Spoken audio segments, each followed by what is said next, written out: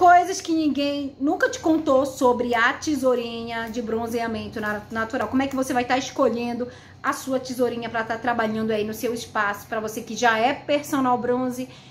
Mas antes de tudo, curte, comenta e se inscreve aqui no canal para ajudar ele a crescer e tá alcançando mais personagens bronzes e empreendedoras aí pelo Brasil.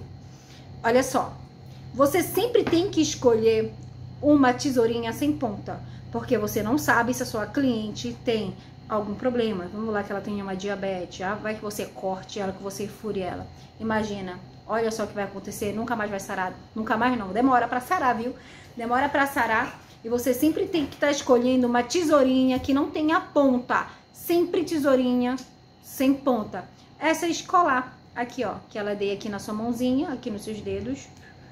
Olha só, se a tesourinha, se ela entrar muito, aqui, se ela entrar muito, vai dificultar, ó, se ela entrar no, nos seus dedos, porque olha só, você vai cortar a fita, isso aqui é um resto que sobrou, você vai colocar aqui nessa mão e vai fazer a montagem do biquíni, tararam. aí vai cortar, vai jogar pra cá. Se ela for entrando muito nos seus dedos, você não vai conseguir estar tá manuseando ela. O ideal é que ela fique aqui, ó, meio termo, no meio do dedo. Você entendeu o que quis dizer, ó? Se ela entrar, você não vai conseguir mais fazer o manuseio correto, ó. Tá bom?